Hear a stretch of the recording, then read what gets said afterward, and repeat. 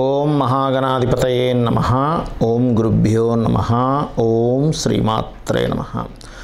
పరమేశ్వర స్వరూపమైనటువంటి జ్యోతిష వాస్తు మరియు ఇతర అనేకమైనటువంటి శాస్త్రములను మనకు అందించినటువంటి మహర్షులకి నమస్కారం. హయగ్రీవ హయగ్రీవ హయగ్రీవేతియో యోపదేత్తస్య నిస్సరతే వాణి జిన్హుకన్యా ప్రవాహవత్. శుభం టీవీ ప్రేక్షకులకి నమస్కారం. మనం ఈరోజు రెండు వేల ఇరవై రెండవ సంవత్సరంలో జనవరి మాసంలో ఈ యొక్క మాస ఫలితాలు ఏ విధంగా ఉన్నాయి?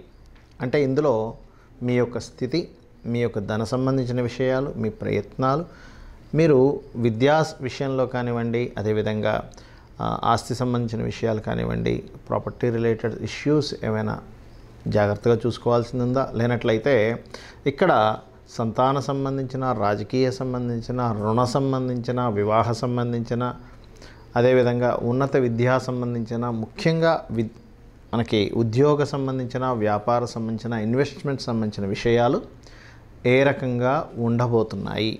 ఇక్కడ నేను మీకు ఒక విషయాన్ని చెప్పాలి. చాలామంది ఏంటంటే కేవలం పాజిటివ్ రిజల్ట్స్ వినడానికే ఇష్టపడుతూ ఉంటారు.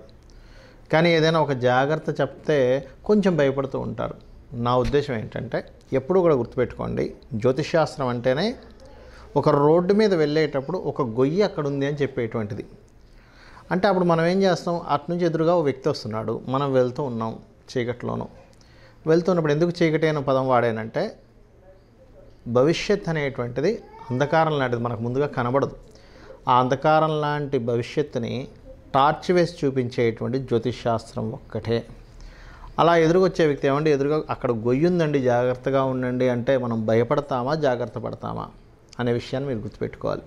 ఇక్కడ మనం ఈ నెలలో తీసుకోబోయేటువంటి జాగ్రత్తలు అన్నప్పుడు ఆ జాగ్రత్తలకు సంబంధంగా మీరు ఎప్పుడైతే తత్సంబంధమైనటువంటి జాగ్రత్తలు తీసుకుంటూ గ్రహ ఆరాధన చేసుకుంటారో మీరు ముఖ్యంగా అతి ము అతి అమూల్యమైనటువంటి మీ యొక్క భవిష్యత్తుని బంగారమయం చేసుకుంటారు. అందుకని జాగ్రత్తలు చెప్పడం కానీ మిమ్మల్ని భయపెట్టాలనో ఎట్టి పరిస్థితుల్లో కాదు.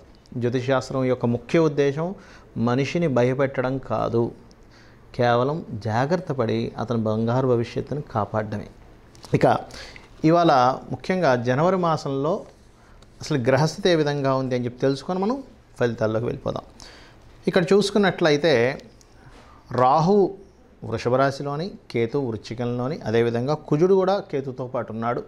పదహారవ తేదీ నుంచి ఈ యొక్క కుజుడు మారిపోతున్నాడు ధనస్సు రాశిలోకి.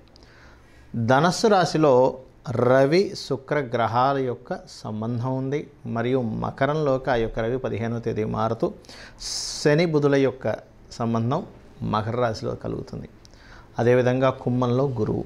ఈ నవగ్రహాలు ఈ ఈ ఈ రాసుల్లో స్థితి పొంది ఉన్నాయి.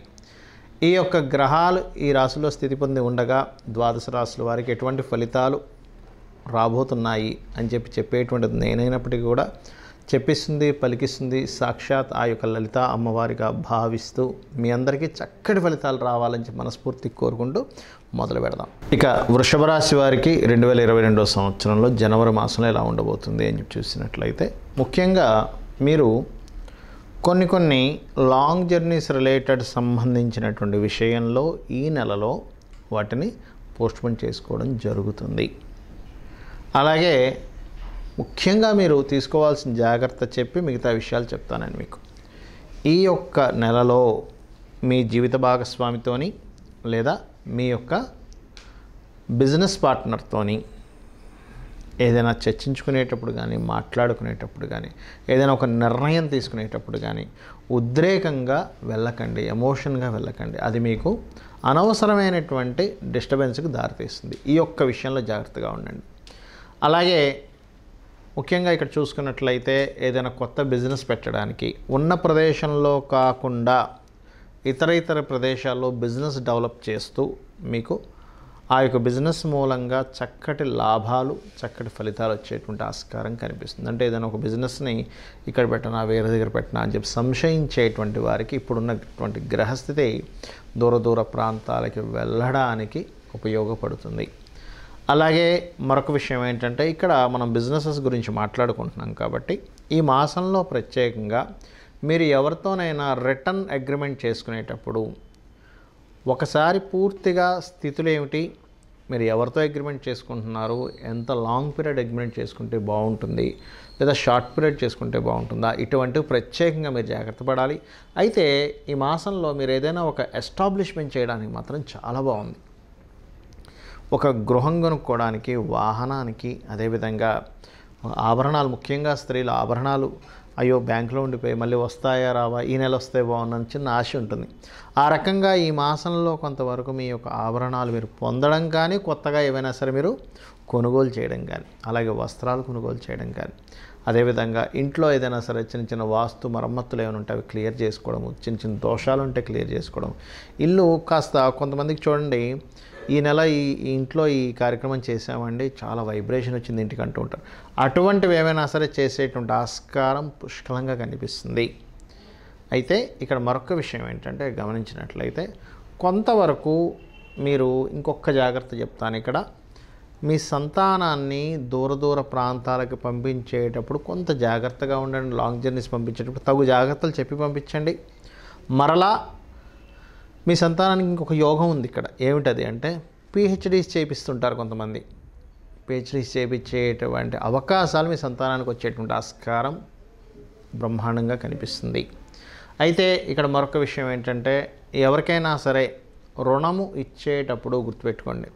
రుణాలు ఇచ్చేటువంటి విషయాల్లో కొంత జాగ్రత్తగా ఉండాలి.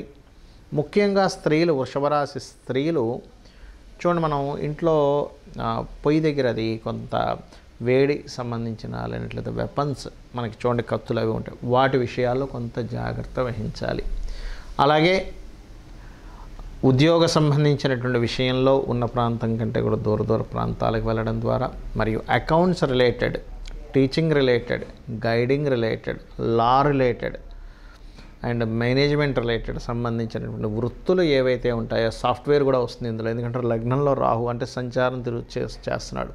కాబట్టి వాటికి సంబంధించినటువంటి వృత్తుల్లో ఏవైతే ఉంటారో ఎవరైతే ఉన్నారో వారికి కొత్త కొత్త అవకాశాలు చక్కగా రానున్నాయి. అందులో ముఖ్యంగా దశమంలో గురుగ్రహం గురు గ్రహం సంచరిస్తుంది కాబట్టి.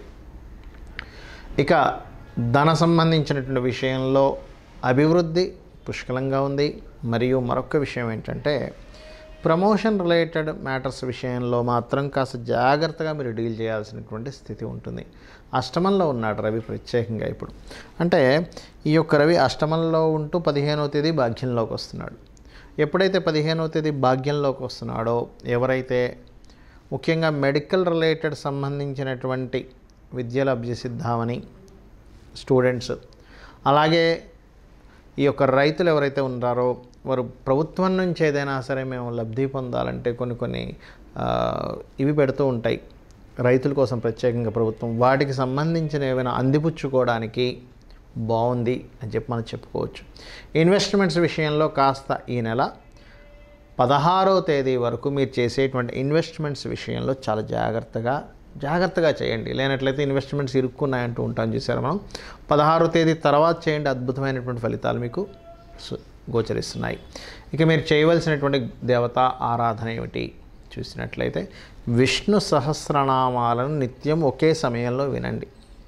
ఇక రెండవది ఏంటంటే ఇక్కడ సూర్య నమస్కారాలు చేసుకోవడము గోవుకి గోంగూర తినిపించడము మరియు వీటితో పాటు శని బుధ గ్రహాల దగ్గర దీపారాధన చేయండి. చక్కటి ఫలితాలు మీ సొంతం అవుతాయి. మనము ఇప్పటిదాకా చెప్పుకున్నటువంటి ఏవైతే గోచార ఫలితములు ఉన్నాయో ఈ యొక్క గోచార ఫలితాల కంటే ముఖ్యంగా మీరు చూసుకోవాల్సినటువంటిది మీ యొక్క జన్మజాతక ఫలితాలు. ఇది ప్రతి వీడియోలో నేను ఎందుకు చెప్తుంటానంటే గుర్తుపెట్టుకోండి. మనం జన్మించినప్పుడు ఏర్పడినటువంటి గ్రహస్థితి ఉంటుంది. అంటే ఎలాగా మీరు పుట్టిన తేదీని నెలని సంవత్సరాన్ని సమయాన్ని తీసుకుంటే గ్రహాలు లగ్నము యోగములు ప్రస్తుతం మీకు నడుస్తున్నటువంటి దశాభుక్తి అంతర సూక్ష్మ ప్రాణదశలు. వీటిని బట్టి మీరు చేసే ప్రయత్నాలు ఏవైతే ఉంటాయో వివాహం కావచ్చు ఉద్యోగం కావచ్చు వ్యాపారం కావచ్చు సంతాన విషయం కావచ్చు ఇన్వెస్ట్మెంట్స్ కావచ్చు అవి సపోర్ట్ చేస్తున్నాయా లేవా అనేటువంటి తెలుస్తూ ఉంటుంది. తద్వారా ముఖ్యంగా మీ జన్మజాతకాన్ని చూసుకోవాలి. మరి ఈ గోచార ఫలితాలు ఎందుకు చెప్పుకుంటున్నాము అంటే ఈ గోచార ఫలితాలు ఏవైతే ఉన్నాయో మన జన్మజాతకంలో ఉన్నటువంటి గ్రహాలను సపోర్ట్ చేస్తూ ఉంటాయి. కాబట్టి ఈ ఈ గోచార గ్రహాలు కాలము వంటివి. అంటే కాలం ఎలా ఉంది? బయట బాగా ట్రాఫిక్ జామ్ ఉంది వెళ్ళడానికి ఇబ్బంది అవుతుంది. బాగా భోరున వర్షం పడుతుంది ఇబ్బంది అవుతుంది. లేదా కర్ఫ్యూ ఉంది ఇబ్బంది అవుతుంది. కదండి? అలా మనకేంటంటే కాలాన్ని బట్టి మనం నడుచుకుంటూ ఉంటాం. దానికి తగ్గట్టుగా మనం సిద్ధమై వెళ్తూ ఉంటాం. ఆ రకంగా కాలం ఎలా ఉంది అనేటువంటి నిర్ణయించి చెప్పేదే గోచార ఫలితాలు. కాబట్టి గోచార ఫలితాల కంటే ముఖ్యంగా మీ యొక్క జన్మజాతక ఫలితాలు చూసుకోవాలి.